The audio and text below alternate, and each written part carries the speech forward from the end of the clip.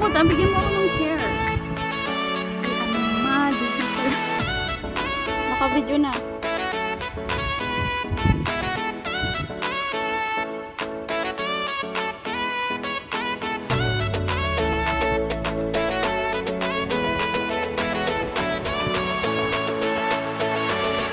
Yeah, pa.